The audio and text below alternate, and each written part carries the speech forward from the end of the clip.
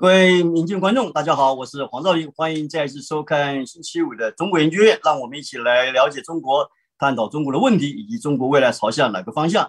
先跟各位介绍一下今天与会的嘉宾，大家都是老老朋友啊，王金浪博士你好，呃，主持人好，各位嘉宾老师好，大家好，谢谢您，呃，冯胜明先生，大家好，呃，李延庆先生先生，哎，赵平兄好，各位各位嘉宾们好，听众观众朋友们大家好。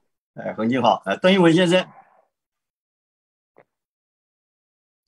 一文麦克风没开，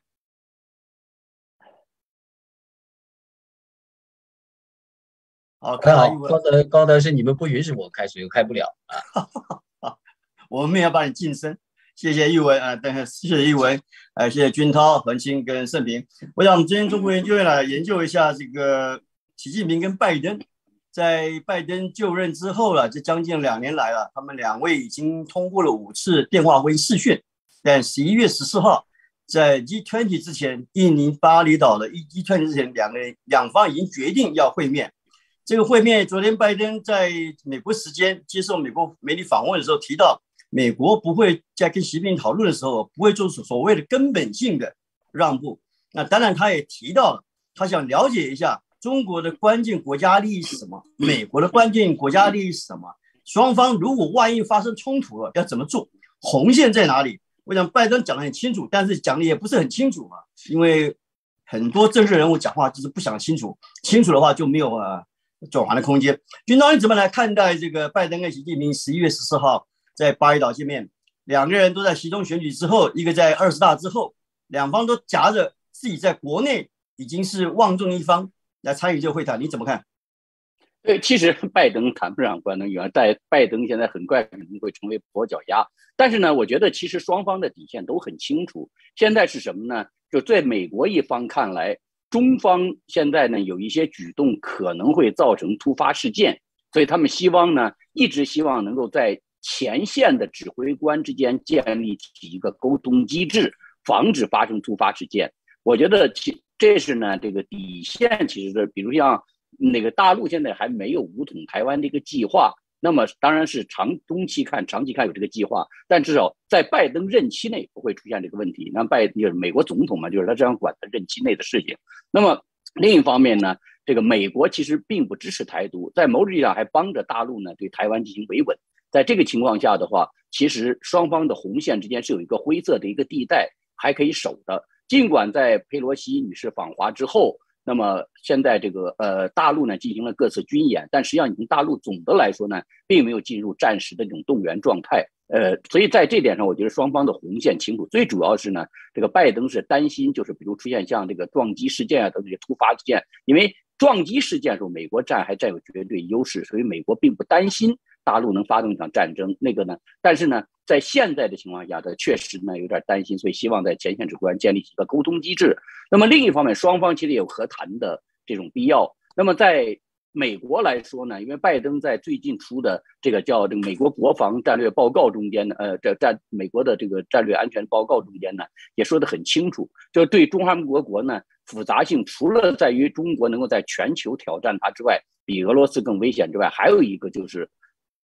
美中国呢还需要跟他合作，在全球这种人类共同面临的议题中间，比如像这个军控啊，像环境啊，像疾病防控啊，还有像太空海海洋极地开发的建立新的规则等等这方面，都需要呢中国的这种合作。所以我觉得，其实这一次呢，他还希望能够探讨一下合作的空间，因为现在。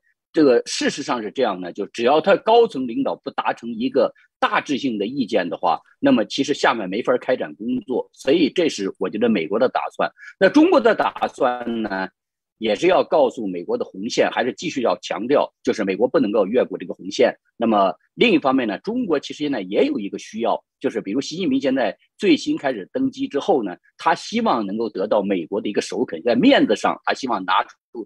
让美国给他一个面子，这样的话能够让他巩固在国内这种政治地位。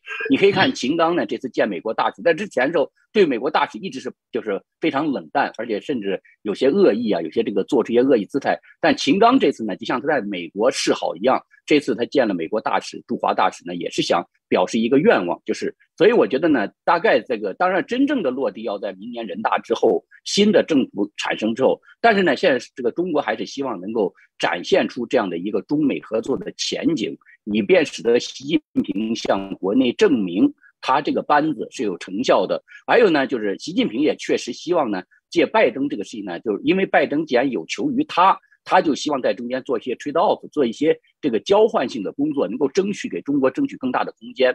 所以，但是我觉得，其实双方呢，在红线这个问题上呢，我刚才讲了，就比如台湾问题吧，在这个问题上，实际上有一个灰色地带，双方都可以接受的，在至少在短期内，在在拜登内阁剩下两年期间是可以接受的。还有呢，就是双方在这个经贸这块儿，实际上也还有空间，因为对美国来说，实际上对中国大陆经贸上只有两条。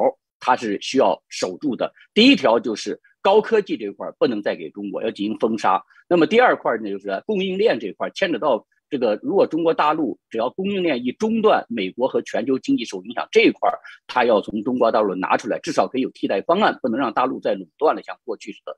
在这两块之外，实际上经济上还有很大的这种合作空间，特别是一些美国可以不生产，或者在东南亚可以生产，可以同时呢，大陆可能生产的可能更便宜，在这些方面呢，还有还有很大的空间。就这一块儿，中美贸易也可以往上走，就是所以因为。毕竟呢，中美贸易过去的是基于呢，这个中国呢，实际上在低端的产品上头呢，对美国大量进行贸易，就只能保持一个持续增长。那么在高端上，美国一直对中国进行封锁，可以，这是呢，我觉得双方。但是呢，这个我我想呢，美国这次是什么呢？美国这次的大概就是把这个程序能够弹出一个前线的接入程序之后，这就美国达成的另一方面。在环境啊、气候这些合作上呢，能够展开一些，就是能够展开一些开始谈判。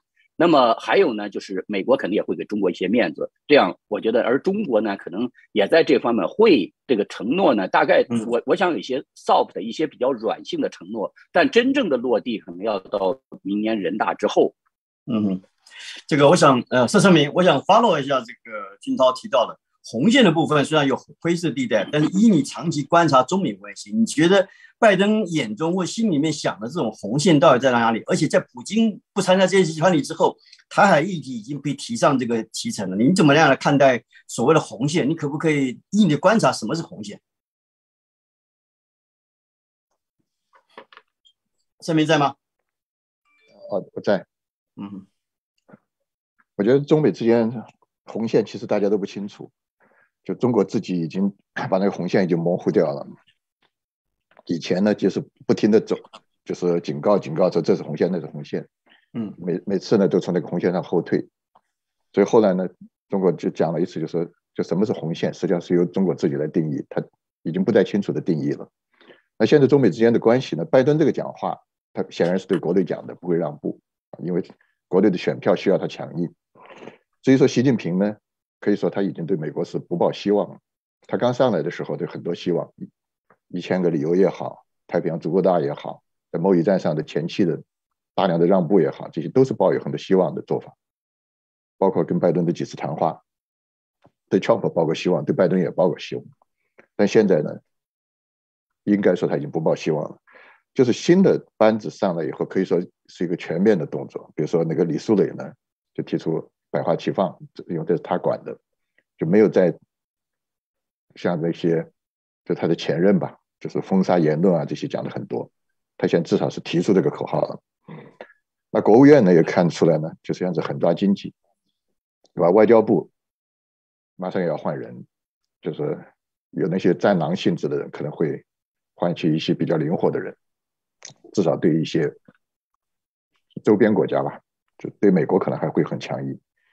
而最重要的变化呢，就卫健委就昨天的变化，第一次提出了呢，要加强这个医疗资源的建设，要准备足够多的那种重症病人的床位等等。所以这一系列的做法都可以看成是是中国方面的一些准备吧。所以说这个会呢，拜登和那个普京和那个习近平肯定是要见，我估计见也就是一个。双方就是表达自己这些看法。对普京，哎，对拜登来说，最重要的呢，就是向国内人表示，他对中国仍旧没有没有示软。但是实质上，我相信他会谈到很多合作的问题。最重要的呢，是要画一个底线，因为美国最近以来给中国打了很多电话，包括军方，中方一直是采取了就是不理睬的态度，这个实际上对两国是非常危险的。那么他和习见面呢，可以说是要跨越了底层的那些交流不畅的问题。中美之间最大的风险在台海，就台海一旦出事儿的话呢，这关系就会彻底破裂。而台海关系出事儿，有三个可能，就是如如果台海开战的话，两个可能中方是没有控制的，只有一个有控制。第一呢，就是俄乌战争升级，我们现在看到俄罗斯在那战局呢越来越不利，其实越不利，后果就可能越严重，因为它就只有升级这一条。就俄乌战争一旦升级到核的话，哪怕就是战术核武器，那中方就不可能再像今天这样的左右摇摆，就是了跟俄罗斯既不联盟，跟美国呢也也不彻底撕破脸。那个时候，中国必须做出选择，那个选择只能是俄罗斯。但是中国不会出兵俄罗斯，就不会军事上卷入俄乌战争，他再笨也不会这样做，反正都是得罪美国。与其呢卷入俄乌战争，替普京或者俄罗斯火中取栗，他不如呢直取台湾，解先解决自己的问题。这是一个台海出事儿的可能性，就俄乌战争升级所导致的。第二呢，就是美国台湾政策法要通过之后，或者说美国的一些极右派，包括台湾的一些台独的推动，如果台湾走向跟美国建交，或者说呢独立。那中方也不得不动手，这第二个台海出事儿的，第三个呢，其实才是中共有前两个中共是没有控制的，就俄乌战争升级不升级，中共没有控制，台湾和美国关系走到哪儿，中共也没有控制，他最多在旁边呢说一些狠话吧。如果这两个都不发生，俄乌战争不升级不动核，台湾也不独立，台美也不建交，那就是第三个就是中共自己了。就他也可以主动的，就是什么事都没发生，对台海呢发起武统。就从最近的情况看，习到军委去那讲话，全军就聚焦于打仗。他当然没讲打哪儿，但是你就想一下吧，中国打仗人在哪儿？除了台海，没有其他的地方。所以，就台海一旦出事儿，那中美关系会彻底破裂。嗯，恐怕就是这是他。要跟普要跟那个拜登那要谈到的问题，我相信是，就是如果他还不想主动武统的话呢，他会提醒美国，就是不要在台湾政策法也好，就台美关系上走得过远。嗯，这个很近。本来 G20 啊，在要登场之前，之前我们讨论过很多次，很多观察家也认为 G20 可能会讨过俄乌啊。那时候因为普京要参加，现在普京不参加了，然后这个美方也释出讯息了啊。嗯，国安顾问这个苏利文也提到了这个拜登的讲话，他阐释了很多。拜登这个还有两年任期，他其中选举虽然维持这个盘面呢是小数为赢，但是这个习近平现在是第三任展开第三任还有五年任期啊。刚才这个盛平提到了，台海应该是未来中美之间可能发生冲突或者所谓红线的最主要关切的地方。你怎么样看待这一次的谈话？一般认为说，起码两方面谈总比不谈还好。以目前中美之间的呃所谓的竞斗关系的话，呃，我我的观察呢，我觉得刚刚盛平也好，军涛也好呢，都 focus 在这个台海，这个呢是肯定我是没什么反对意见的，肯定是这样。嗯，但是呢，这里头啊，应该有一个点呢，我想提醒一下，这个美国呢是一个这个政治民主化的一个国家，而且是一个就是它的专业性、专业技术性是非常强的，个人的分工啊，各个部门的分工也是非常强的。但是中国呢一直在讲呢，什么事情呢都得定于一尊。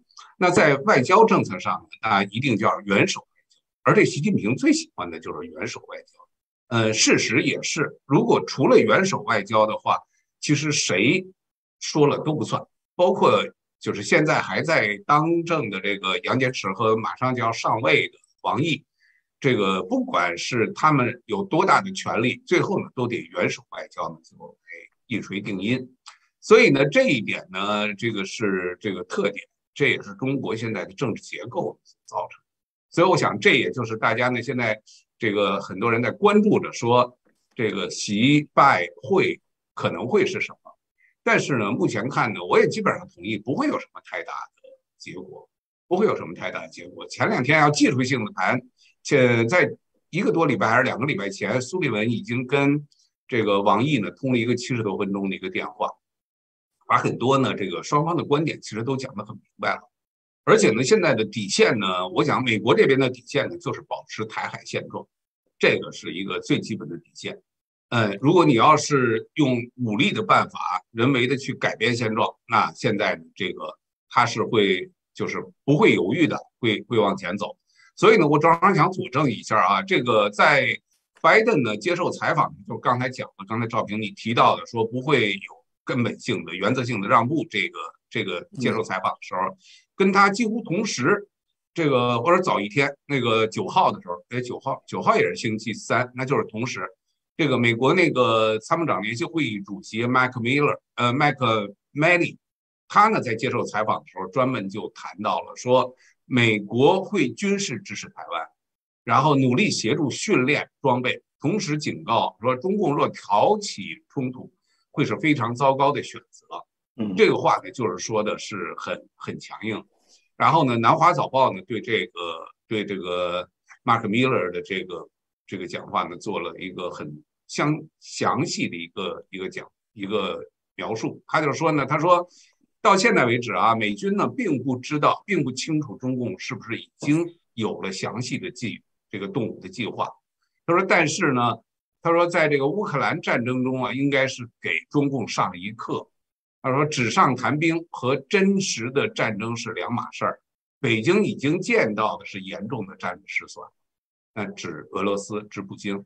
他说：‘我想习近平正退一步考虑，重新评估形。’然后他讲的，他说对于习近平在二十大上提出来的解放军要在二零二七年成为世界一流军队，打赢局部战争这个目标，Miller 呢认为呢。”这 Many 认为呢，要军队做好战备和决定打仗是两码事儿，是两码事儿，完全不一样。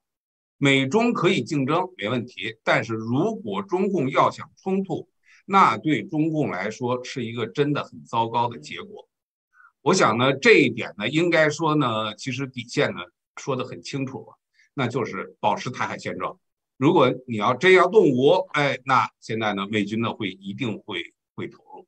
所以我想呢，这一次呢，这个不会有什么，这个习拜会也不会有什么太大太大的突破，所以呢，还是会维持这个，但是呢，维持的沟通，沟通起来呢，总比不沟通强。另外，你刚才那个军涛提到了其他的几个方面，呃，什么气候的问题啊，这个其他的相那些问题呢，都已经放在了这个这个议程上。所以呢，这个呢，肯定是要希望在这些地方跟中国合作。所以我想呢，这个呢是可能，这个不管是这个拜登也好，还是习近平也好，可能都会要准备在这些地方呢，是不是有一些能够可圈可点的东西？这是我们的观点。嗯，因为那个，我想发到刚才恒金提到的，在拜习会十一月十号、十四号要登场之前了。这王毅之前跟美国驻华大使伯恩斯这个见过面，那王毅也跟这个布林肯通过电话。那个中国的这个驻呃呃气候变迁的谢振华也跟这个在 COP twenty seven 联合国气候变迁大会里面也跟这个美国的特使的凯利见过面。因为你怎么样看待？是说在这一次的这个拜习会之后，是不是中美关系可以稍微缓和一下？还在缓和只是短暂的现象，不可能持久？呃。高德几位都谈到了这个，呃，包括军涛，包括韩金谈到了这个拜登的，呃，刚才讲的不做根本性的让步。其实这个词的潜在的就是说，我会做一次让步，只不过是不做根本性让步而已，是这个。啊，这个话就我我我我觉得应该是这么解读才才比较我拜登的原因。为什么讲拜登会做一次让步呢？呃，包括我们讲这最近他的接受采访的时候，关于。他要这个军售台湾的武器，台湾他不再说了啊。以前他是会说的，但是现在也不再说。这就是媒体问到这个，他不回答这个问题了。那么就有可能的话，比如讲他继续军援台湾上面可能会会会会多一些妥协，一些让步的。不过从这个整个的，我们讲下周一要见，要要要这个两个人见面的这样一个会谈来看，跟之前包括这个主席您刚才说到的这个布林肯跟王毅的，包括这个这个美国驻华大使跟跟们秦刚的这样一次会谈，呃。西方的信号当然不是那种我们讲这个这个兵来将挡的那种，这个都是怒目金刚式的那种信号啊，有一些都是双方之间有所缓和的这样一个余地。那么其实这个东西我们可以放在一个更大的一个背景来看啊，就是说，比如讲，就是说，拜登跟习近平已经通过了五次话了啊，那么这五次话的关键是什么呢？就是呃，我们觉得就是两个内容啊，两个内容，一个就是是说。中美之间如何来建立一个所谓的一个护栏的一个问题，建立一个护栏的问题啊？但是这个问题一直持续到现在都还没有谈好，怎么怎么建立这个护栏没有谈好啊？那么一个另外一个就是这个这个就是就就是台湾问题上的这样一个，到了这个护栏问题跟台湾问题两点又是高度重合的一个问题，嗯，高度重合问题，呃，现在只不过是从这个线上改为线下啊。所以讲，我觉得我可能比上次诸诸位可能更悲观一点。我觉得，呃，这个不但就是说在这两个问题上谈不拢，这个护栏的问题啊，肯定又今肯定会是拜习拜会的这个讨论的一个重点的问题。我们中间他们就来如何来讨论这个这个护栏，那个护栏的问题，当然就是可以看到是属的一个底线的问题啊。其实我认为这个中美双方的底线都已经明确了，我并不认为他没有明确，明确了。就从从从这个从这个佩洛西访华所中国的军演来看，这个底线就已经画得很清楚了，为什么没什么模糊的这个空间，已经很清楚了啊。嗯，但是在这样一个问题上，我觉得两国是没有这样一个，就是说这这个没法这个就是说谈谈谈的一个非常有一个一个清晰的这个结果。那么对对于台湾问题的话呢，当然更不会有这个，也就是公说公这个这个呃公有理，婆说婆有理，各说各话而已，各自强调自己的一个重点，呃，让对方明白自己的就是在一座红线是在哪个地方啊，呃，估计就是这么样。那么再一个可能就是一个呃，包括这个所谓芯片呀，这个供应链的方方式，中国可能会提出一些，世界美可能会提出一些关切啊，呃，但是我讲这个。拜登在这个问题上也不不大可能就会后退。即使说说关心的其他的合作问题，我觉得也不大可能会有。为什么呢？呃，最重要的是属于一个气候问题。但是我们看到气候问题已经在埃及马上就要召开了。呃，这个我们看到这个中美这个气候大使并没有在在在这个气候大会上进行进行交流。而且四号这个谢金华有一个有有个声明说，这个这个美中中美之间没有谈气候的合作问题，完全是因为。这个美方的原因造成的，也就是说，所谓的美方原因造造成的，就是说中呃中国之前对于佩洛西访台之后所说的这个八项这个中断八项这个这个会谈里面关于气候问题的会谈，就是一一直到现在都还没有没没没没我们的没有恢复，也就是说这八项会谈到现在为止都没有恢复啊，没有恢复。嗯，那你想想，在这样一个状况下。呃，这个两国之间的这个领导人能够谈点什么东西？假如说双方之间要进一步恢复这个希望就善意的话，那么你最好可以在气候问题上就借着接着借着所谓的联合国气候大会，呃，在埃及召开的气候大，你两国之间可以就气候问题两个气候特使可以进行交流嘛？啊，但是没有啊，这没没有这个没有啊，啊，这个没有的话，谁谁就是出了习近平的这样一个意思嘛？啊，呃，是不是？假如。肯定习近平不不会不不会让谢建发这个同意谢建发跟跟跟这个克里进行会谈嘛？呃，克里倒是非常愿意跟谢建发会谈，但是中国不愿意啊。有种一个有种有种来看，就是是说，我觉得就是说，呃呃可能会。呃，关于是合作机制呢，会强烈一些表面的，我又又会像之前几个通话这样，我们要在一些全球全球议题上，双方共同关注的问题上，呃，这个这个进行这进行合作，会会有这样一些所谓的字面的表表述，但是不会有有实质性的这个内容的下一步的展开。呃，我们刚才看到这个这种联合国气候大会之后，我看我也看到有关的报道，就是说中美在气候领域就是要是各自的这这。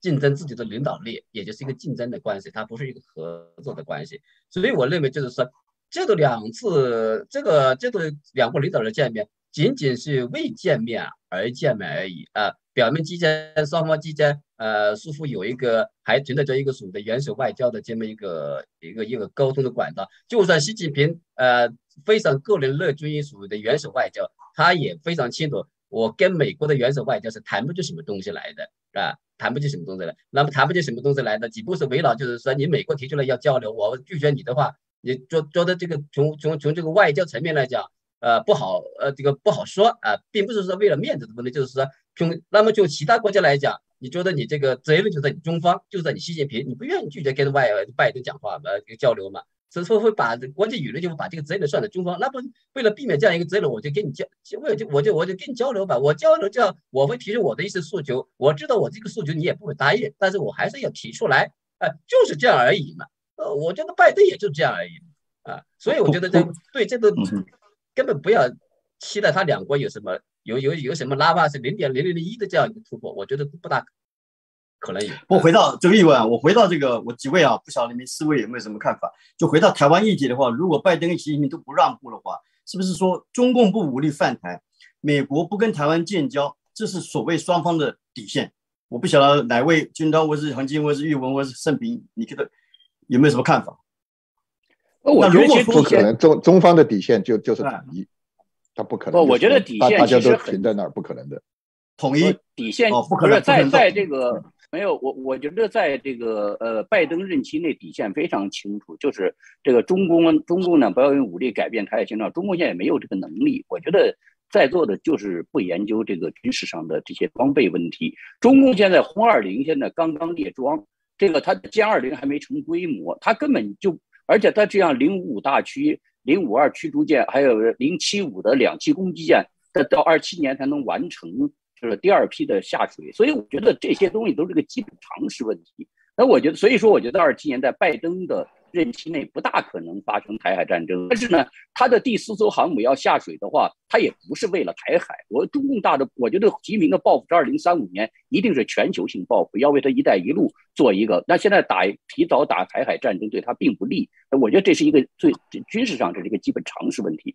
至于说会不会在台海周围发生一些这个武力摩擦，然后消耗台湾，然后以此呢组织。就国际社会对台湾的支持，就是因为你这个支持多了，会营造出一个台独气氛出去，这是大陆要画的底线，就是国际社会不要再继续支持了。那么另一方面呢，这个美国这个地方呢，只要你你是搞搞什么演习啊，跟你形成规模的这种解，这个能够反美国的介入，另一方面还可以解放台湾的这种海空的这种这种战力规模。这个美国现在也看不到大陆有这个能力，所以我我我认为这个不是一个太大的问题，这这底线就清楚。其实玉文讲那个很还是很重要，就是我说的，就是在前线指挥官之间要建立沟通规则，这是国际的惯例啊。就是双方的海军、空军，如果一旦形成对峙，是按照国际法的规则和国际的海战战略的规则，要事先要交换一些信息。那么现在大陆在拒绝这方面，因为大陆现在都在袭那个地方，所以呢，这个美国是要建立护栏。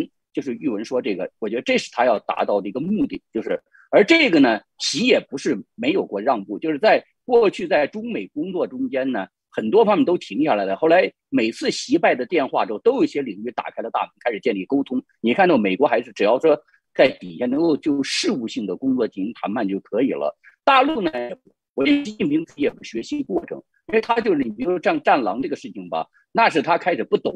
他慢慢的，他开始懂得一些国际社会规则之后，他会呢软化一些这种嘴硬有什么用呢？他这个人，他你也知道，他就是一个，就是最后是要靠实力说话。他知道，所以嘴硬不是一个长久之计。所以他将来呢，也会要逐渐的学习一些规则，因为当当独裁者的话，你也要学会要承担责任。所以，我黄金是不是？我严我严重不同意军涛的刚才关于中国军力的这样一个判断。啊啊啊啊啊！就是说这个。呃，我们不能从各个方面得到的信息，呃，包括美国军方的，包括包包括台湾的，包括这个中国自己希望的这个，就是仅仅从军力而言，中国已经早已经是部署的好好的，并不是说存在这边。刚才就是说，军涛所说的可也是可能就是说，一旦这这个什么动武啊，美国介入起来了，这个这个这个中国这个没有什么这个什么什么零零五大狙击类的，这美国中国对付美国不是说用，这是用主要是用导弹来对付。玉文，玉文，你得知道中共现在装备的这个速度啊，他不可能在装备没完成的时候他去打啊，我他要在装备完成之后我我我我我我也我也看了解一些军事上的，特别是包括特别是这个军这个这个驻海航检数量，就是各种各样的新式武器，包括。包括这个你所说的这个歼歼二零，这个未来几年据说美国美国估计要这个要说要生产七百七七百架这个歼二歼歼歼二零。不不，我们先不说美国，美国到二零三零年才开始呢，这新一代武器才开始列入装备。就是我在讲是中共的军军方要先生产七百架。中共你要知道，不你得知道中共的“十四五”计划里头。他如果在这些的装备没完成，他打台湾他得不偿失嘛？他后面打他这个习近平说了一句：“时雨是在他这一边，所以他不怕等一些时候。”我就说在拜登任期内啊，我的意思是，我的意思是说，就算是中国军方有准备了，但是打台湾是不并不是一个军事问题，是一个政治问题，是一个地缘政治，是一个关这当然有一个军事的技术和装备的问题了，因为它不是过去那种战争，就是而现在打高科技战争要很花钱的。对呀，对呀。因为台湾跟着中国太近了嘛，所以并不是个远的嘛，所以并不是这这个这个这个，我们讲用用用用呃这个用用那个用那个叫什么那个这个那个那个国内的那个什么这说要用火炮打我就够了，是不是啊？还有就其他武器嘛？不，你说是打烂台湾，他要占领台湾，有效占领台湾。我刚才也讲了，在台湾周边发生一些军事冲突，消耗台湾的一些战力和装备，并且呢是他的示威。这些我知道太大的实力啊！我但是你要知道啊，你今天你今天台湾的一些将领，哎，一些将领的分析，你知就就就就就可就可以知道。因为我就问你一个很简单问题，我就问你一个很简单的问题：占领台湾需要多个海海军陆战旅？现在大陆有几个海军陆战旅？我就问你这个简单问题，你能回答吗？大概是有有有有有有几有有十几个。大陆现在有几个？现在有十几个吧？我印象就是现在有八个啊，对啊，现在差不多。嗯，如果要加上的话，就是现在加上，准备要再加入是十个。我就问你，十个海军陆战里，那我叫你大陆自己评估也不够。你看刘亚洲的文章就知道了，大陆自己评估也不够。刘刘刘呃刘是刘你刘亚洲在在在在在这个是在之前说到了，现在这刘亚洲说这个话都跟现在跟多少年来了？不，我就告诉你说，打一场战争需要多大的规模的战力？台湾陆战旅就这样吧，这个大育儿我们不在这里争军事，我们不在这里争了。这个我跟你说，我我我我真的不想，我我真的不想跟外行争这些问题。我我们这个问题交给专家。我我们我们讲了，知道吗？我们等一下，真的我插个话，我我插两句。你说你说啊，你说那个恒金呢？对恒金看，我说两句。你们俩你们俩其实咱们这儿都没有军事专家。所以呢，这个这个在可能有一些人呢，这个了解不？军涛冒充他的军事专家啊？没有没有，他也不是军事专家。来，何静讲几句话。但是我想啊，这个不跟台湾建军事上，我们军事上呢，这个我们不是，这不是我们的长处嘛。所以，我正好我就是拦你们话，就没必要再，咱们得节约点时间了。你们看着点啊。对，这是第一个。这个问题不争了，让军事专家说话吧。信息，我给大家一点点信息。那个昨天呢，正好是这个见着几个朋友，然后呢，就是这个日本的朋友哈，然后呢，我们就讨论到这个，讨论到这个，如果台海出事的时候，日本是不是会？前一段时间有一个说法，就是日本呢会协防台湾，然后呢，美军的主力呢都在南这个南海，所以呢，这个呢，这个是大的布局。呃，后来呢，我说呢，我一直听，就是说不确认哈。我说我听到了好几次别人给我讲这个，后来最后他们是军事专家，他们非常明确告诉是这样，大致就是这个，他们已经有了这方面的，就是每日以这方面的这个工作的分配，就是他们之间啊。所以呢，我想啊，这件事情呢，如果从战略来说，这两个两个经济上的强国，还一个军事上的第一强国，最后围着这个台湾。最后打下来，肯定要真要打也不那么容易，也不是那么好好对付的。说白了哈，说习主席想打，我想现在那决心，就像刚才我介绍那个米勒呃梅利将军的那个那个话，实际上呢，他说这个你要真动真动武的话，你会发现你做了一个非常错误的决定。现在这个是美军的现在是最强烈的要求，就是就是威慑。我威慑了以后，你不动武，这个是大家就保持了台海。那个和平。所以这个是我我的想法了。当然可能可能跟你们不一样，但是咱们不吵了吧，咱们还是继续往前走吧。你的想法跟你的想法跟我一样。那我我补充一点吧，就是那个在五年以前呢，王希泽先生呢曾经去过一次台湾。去台湾的时候呢，他和那个马英九有一个一个秘密的谈话吧，后来被民进党把这个掀出来了。他那谈话有个二十分钟的一个录音，我听过，其中就问到说，如果台海开战的话，中共武统的话，美军会不会卷入？马英九当时的回答说呢，不会。他说我也当过总统，我当时最关心的事儿也是美国会不会卷入。他说不会。那王羲之先生又问了一个，那日本呢？他回答是想都不用想。这是一个曾经当过总统人的一个判断吧。我们稍后呢，晚一点会提到这个中央军委习近平视察这个军委联合作战指挥中心的事情啊。不过这个议题讨论的非常好，我们想这个议题还有时间，我们未来会找时间继续再讨论一下。拜习会之后，尤其拜习在十十四号登场之后谈了什么事情，我们可以稍后下个礼拜中国研究院再讨论。我感谢您收看明镜电视频道，敬请您来点赞、转发、订阅，并且推荐给您的亲友。恳请您利用视频下方的超级感谢支持我们。